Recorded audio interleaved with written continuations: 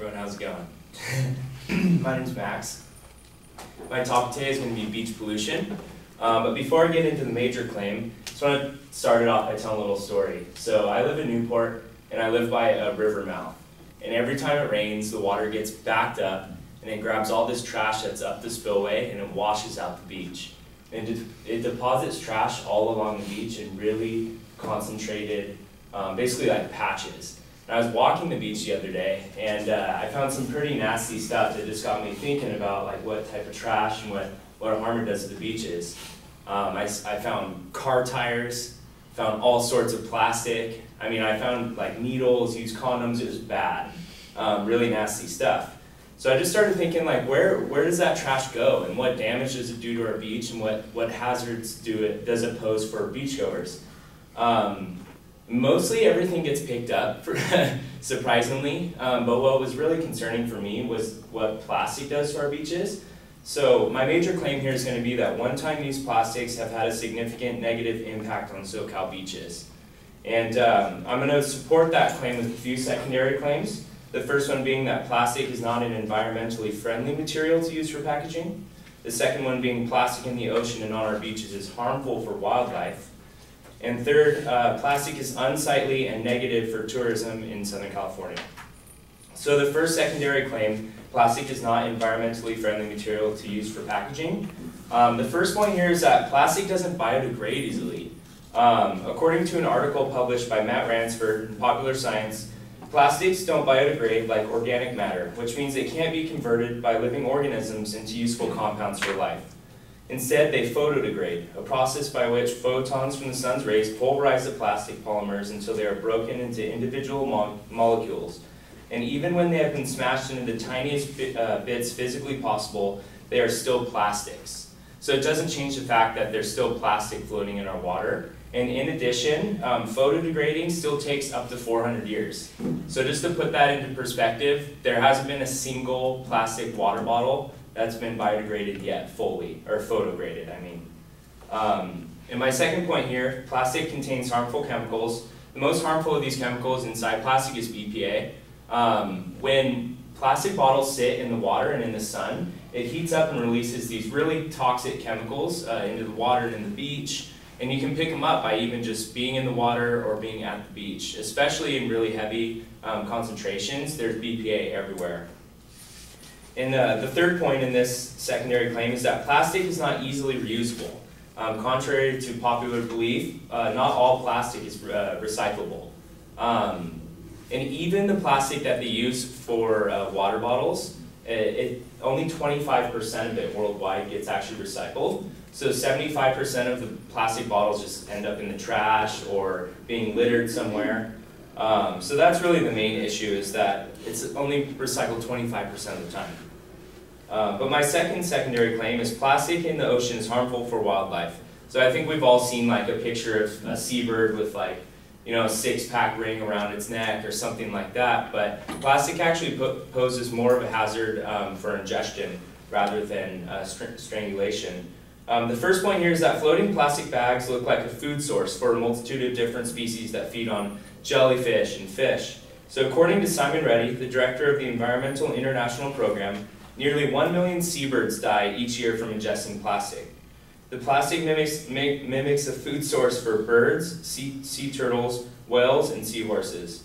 And even dolphins, they're smart enough not to eat plastic, but uh, they actually get secondary ingestion because they eat prey that has plastic in their stomach. So they end up getting the same thing. Uh, it's kind of a heavy topic, right? But, um, but yeah, so it's definitely not good to ingest. Um, plastic frequently gets stuck around aquatic species' bodies and heads. Um, so that's what I was talking about, where uh, aquatic life will swim through or dive down at the plastic, and it'll get stuck around their head, um, and it'll cause strangulation or starvation. Um, and lastly, plastic is not digestible. So if consumed, the plastic can cause digestive issues for wildlife. And a recent study published in Nature Journal indicates that ingesting just 14 pieces of garbage leads to a significant increased risk of death. Um, so that's it for sec the second secondary claim. The third one here is plastic is unsightly and negative for tourism. I think that goes without saying. No one wants to go to a beach with a bunch of plastic or tires on the beach. Um, no one wants to step on needles when they're walking around, that's for sure. Um, but the first, the first point here is that plastic clogs drains and spillways, causing it to deposit heavily in certain areas. So uh, Amy Bird at UCI actually did an experiment where they built a frame that was a square meter, and they took it to different beaches around Southern California, and they threw it out, and uh, in that square meter, they would count the pieces of trash that they found. And uh, Newport Beach actually ranked the number one in the most polluted. In that one square meter, there are 59 pieces of trash. So that's that was pretty crazy to me because that's like 60, that's almost 60 pieces of trash in one square meter. So that's pretty insane. Um, second is that dirty beach, beaches discourage travelers from visiting. An example of this is Bali. Um, Bali has really polluted beaches, and it's actually sig significantly negatively impacting their tourism. Um, so they declared a state of emergency over pollution. Um, and third, trash-ridden beaches pose a health hazard to beach goers. The bacteria that's on this plastic, the BPA, the chemicals, um, it, it, poses a risk not only in the water, but also on the sand. Um, in my closing remarks, I think we just all need to be mindful of the amount of plastic that we just throw away unknowingly. Um, it's unrealistic to ask everyone to like stop using plastic because plastic's everywhere, right? You can't you can't really avoid it. But the main thing here is just remembering to recycle because everything is downhill from the beach. Everything that we use washes into the water.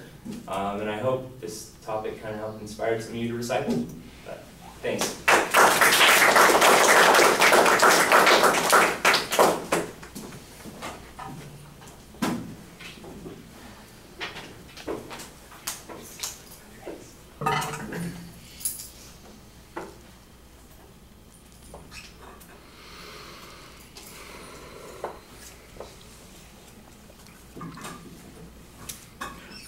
Right, well, the proposition's clearly identified. There's a good preview. I'm not exactly sure that anybody doesn't believe that plastics are a problem uh, when it comes to pollution. I think most people would recognize that this is true. So the, the idea that there's a controversy on this, I think, is a little bit problematic.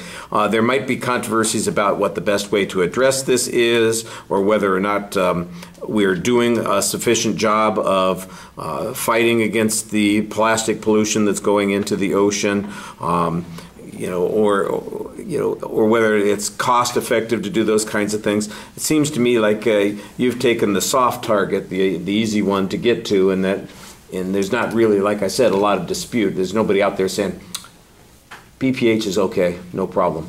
You know, So it, it, there's a lot of it that feels like an informative speech rather than an argumentative speech. Um, I think you do a very nice job presenting it. You talk to us in a straightforward manner uh, with a great deal of confidence. You use your personal experience at the beginning of the speech to kind of draw us in, and I think that that's effective. It helps build your credibility very much. Uh, there's a good organizational structure for the supporting points. Uh, there are very smooth transitions. On the first point, there are three secondary or minor issues in that first point, and so that got a little bit confusing when you're moving to the, the second and third points. I'm going, wait a second, is that the, those were not the points that he listed earlier. It was only clear as you finished that first point that that was all in that first point. And so uh, that, that's just a, you know, a language thing that needs to be adjusted a little bit to fix those sorts of problems. When we do the debates, you can go ahead and use uh, like uh, labels. You'd say subpoint A, subpoint B, because we're going to have a lot of arguments that are being presented here it was it's a little bit awkward to do that because it's more of a speech that we're doing as opposed to the you know competitive kind of response and, and return that we're going to be doing in the debates. So that was a little bit awkward. But you've got good information on all of these points. I don't think there's any um, problem with it. Uh, you know, I think I could use a little bit more information about the problems with BPH. Uh, you know, that it exists, that it's out there, and it's that part is true. That the the harm that comes from it, though, is is largely unexplained. Um, you know, you, you do start with a lot of uh, information about pollution at the beach that's not plastic based, but you do have good explanations about the plastic based ones. Um, uh, you know, the Bali example that you have on the third point, I'm not sure how much of that is uh, plastic pollution that is being discussed here. I, I'm not saying that it isn't, but I don't know. That's one of the things that's kind of missing there. Um, and at the end, there's a little bit of a policy argument, but it, it follows. excuse me, it follows from the general issue that you're talking about, the, you know, the, the problems with plastic here, so. Like I said, the main issue that I have is that, you know, the controversy thing. Do you have an outline to give me? I do, yeah. Okay, thank you.